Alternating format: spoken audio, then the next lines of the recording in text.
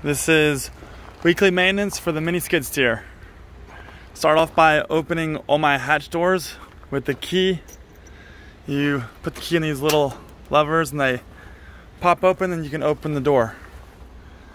Under the hood, where you have our air filter, gauge is on the side that the red is showing. Post in the slack repair channel to get it replaced. Got antifreeze we can check here. If it needs filling, we can fill it here. D's on the right side, hydraulic fluid on the left side. Gauge is right there. We got our oil dipstick, gonna be right there. And then fill the oil right there. And that's all our fluids.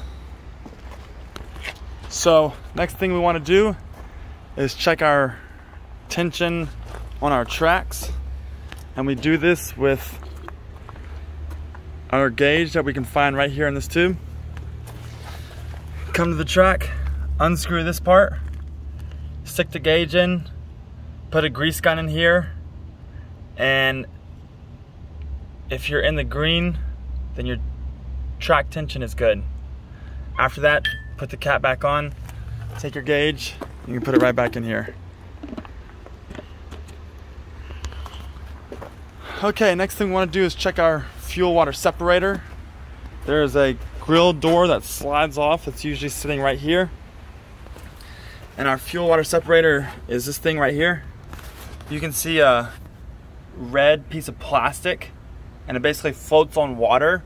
So if the red plastic is above the bottom of the cylinder, you want to go ahead and unscrew this little knob down here and just separate and empty the water out from the oil.